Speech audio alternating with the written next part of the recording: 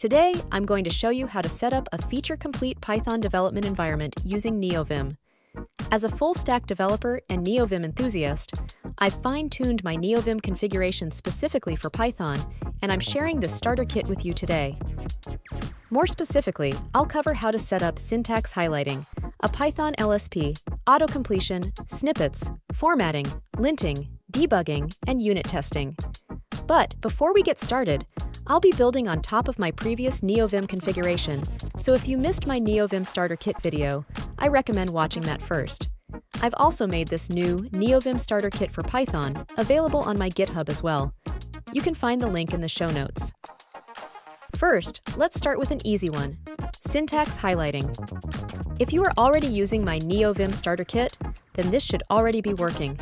This configuration uses TreeSitter with the auto install option set to true.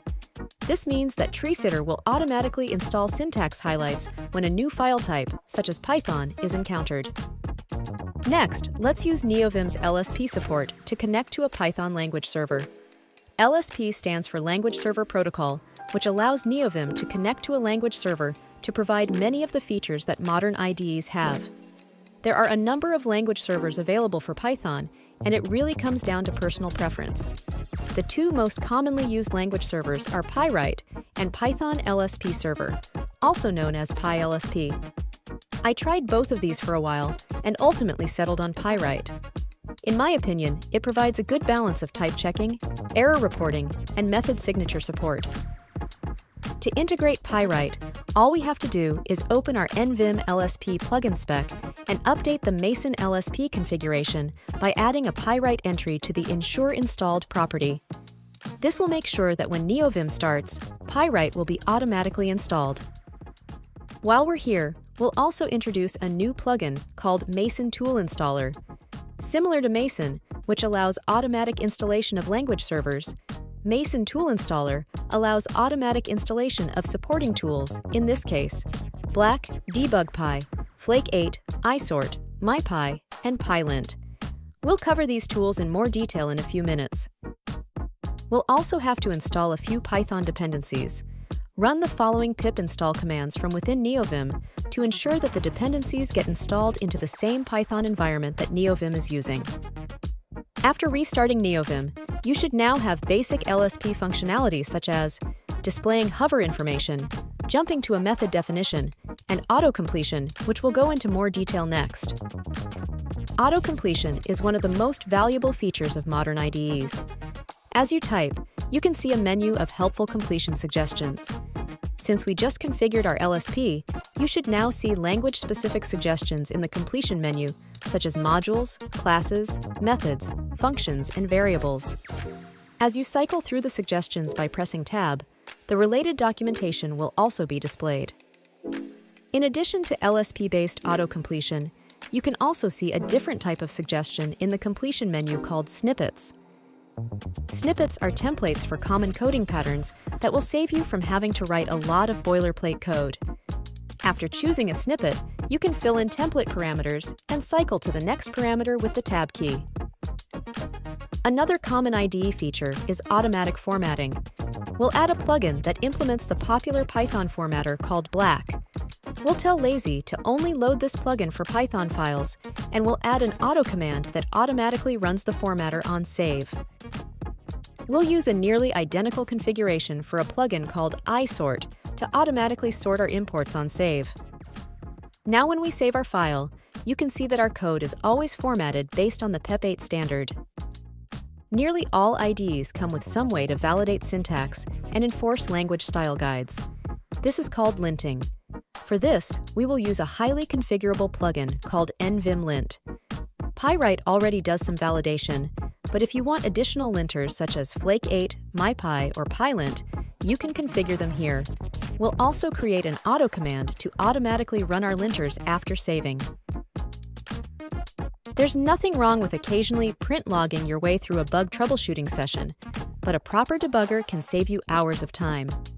To add Python debugging functionality to NeoVim, we'll utilize the DebugPy tool that we installed earlier. We also have to configure another plugin called NVim DAP Python, which will integrate DebugPy with NeoVim. The only real configuration you have to do for this plugin is to pass the path to your Python binary to the setup function. This can be your system or virtual environment Python. After restarting NeoVim, you can now add breakpoints to your code by pressing leader BB.